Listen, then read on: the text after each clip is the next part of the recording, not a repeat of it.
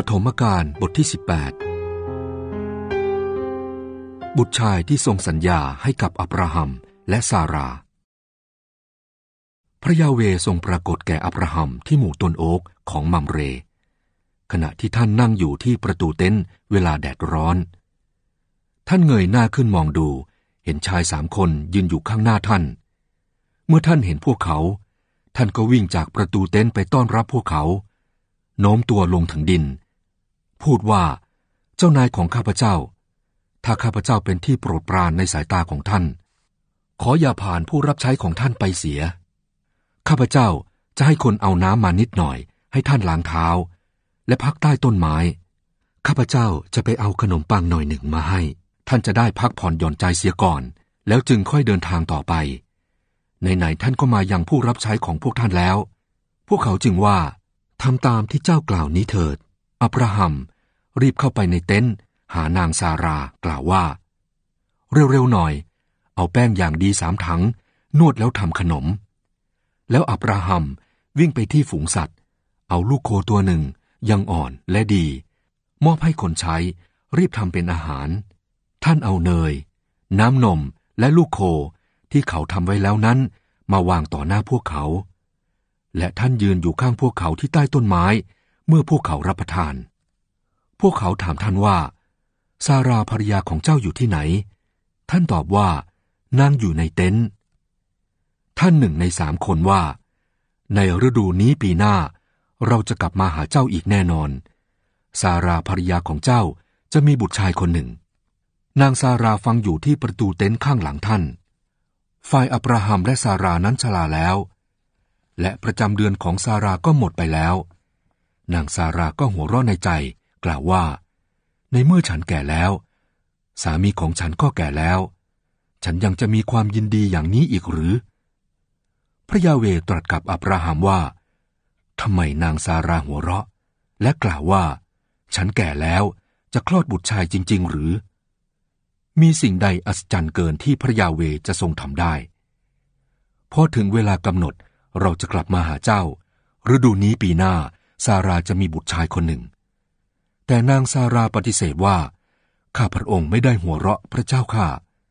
เพราะนางกลัว พระองค์ตรัสว่า อย่าเลย เจ้าหัวเราะจริง ๆ อับราฮัมวิงวอนเพื่อเมืองโสโดม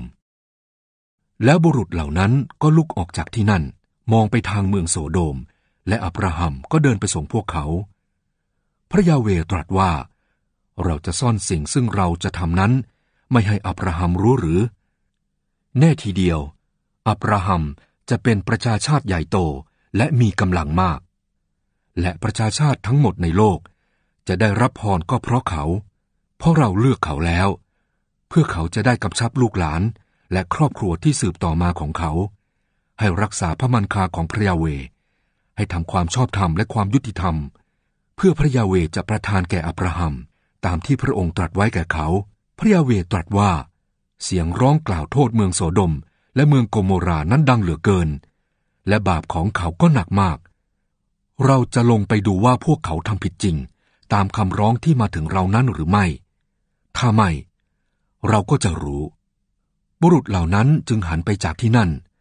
เดินไปยังเมืองโสโดม แต่อับราฮัมยังยืนเฝ้าเฉพาะพระพักพระยาเว